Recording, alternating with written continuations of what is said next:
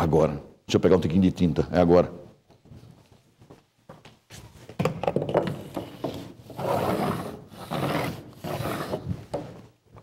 Não foi meio aviadado, não foi? Exclusivo! Reeducando mata agricultor a copos de inchada e pede ajuda aos vizinhos para enterrar o corpo em uma fossa.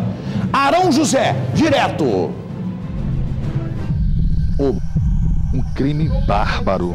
Um homem assassinado com golpes de arma branca, possivelmente um machado. O corpo dele se encontra aqui no quintal dessa residência. Ele já foi identificado, é o seu José Augusto.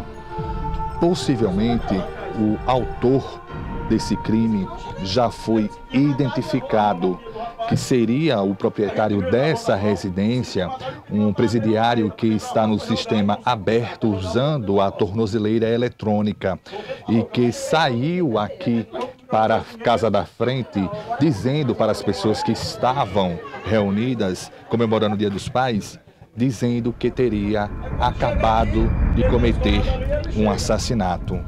É uma cena bastante forte, olha, tem sangue espalhado. Ali no canto a gente pode observar um pedaço de madeira que é exatamente a parte da enxada que ele utilizou para cometer esse crime. Tenente, como foi que vocês ficaram sabendo aqui desse crime?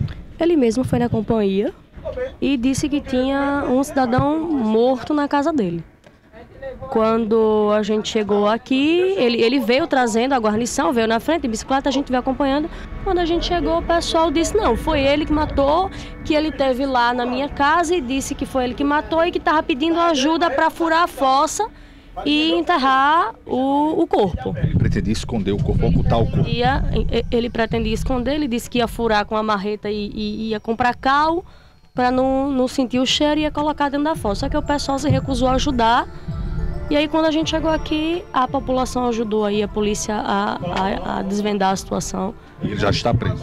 Sim, sim, está preso. Ele foi lá na residência de vocês, né? Pedir ajuda. A gente tava tomando uma lá, na, né, lá no quintal do rapaz, ele entrou. Só fez assim, ó, matei fulano no meu quintal, de hoje de enxada. E eu quero um saco de cal, uma tadeira, uma marreta. Ele chegou a dizer o motivo que teria motivo. Não, disse não, disse não, falou não, falou não, falou. Ele chegou frio. Aí o dono da casa, que é o Silvano, que mora aqui nessa, nessa casa de frente aqui, falou, disse assim: vai embora, vá. Só que a gente pensou que era brincadeira, porque não mora aqui. Eu pensei que era brincadeira, né? Mas só que foi realidade, né? Mas só que a gente não tem nada a ver, a gente tava curtindo numa boa. Olha, esse é o José Bezerra da Silva, 40 anos de idade, proprietário da residência, onde foi encontrado o corpo do seu José Augusto.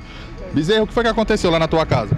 Hum? O que foi que aconteceu lá na tua casa? Na minha casa, por a porta da cozinha, pinotaram por lá que tem um corredor, uma levada que corre água. Assassinaram a minha, a minha porta da cozinha, não tem, não tem segurança. Cheguei do serviço agora, cheguei quando eu abri a porta, um cidadão lá morto no, no, no quintal. Mas os vizinhos lá disseram que você foi procurar os vizinhos para pegar, para enterrar ele lá na. Eu procurei a justiça para tirar ele de lá de dentro. Foi você que matou ele? Eu acho que Deus, Deus Ele estava fazendo o que lá no seu quintal? Graças a Deus, eu não mato, não mato ninguém, ninguém. Não. Você já responde por uma tentativa de homicídio. Inclusive você está usando a tornozeleira eletrônica. Por isso aqui, eu fazer mais nada por quê? Isso foi quando esse crime? Esse aqui foi uma tentativa em 2003, já estou respondendo fazer um Onde foi que aconteceu? Um ano e três meses, esse ano aqui eu não conheço nem que esse que estava morto lá no quintal. Porque lá eles brincam, eles brincam para lá com o som ligado. Aí eles pinotraram pelo corredor e acho que fizeram, tentaram, tentaram... Mas a arma utilizada, a arma utilizada para matar é uma enxada sua, que pertence a você. Não, enxada nem enxada não tem. Você quer? Gente viu lá o pedaço do... do... Não, nem enxada não tem, ali é para escorar a porta para escorar? Aquele pai para escorar pó. É. Foi com ele que você matou ele?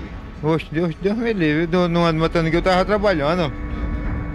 Quando eu cheguei, quando eu abri a porta, tá aí lá dentro, morto lá no quintal. Aí eu chamei a justiça. Peguei... Por que você foi procurar seus vizinhos dizendo que tinha matado uma pessoa no seu quintal? Oxe, eu? Você não procurou lá seus vizinhos? Verdade. Não. Foi verdade. Olha aqui, seus vizinhos aqui dizendo que você procurou eles pra, pra dizer que tinha matado uma pessoa no quintal.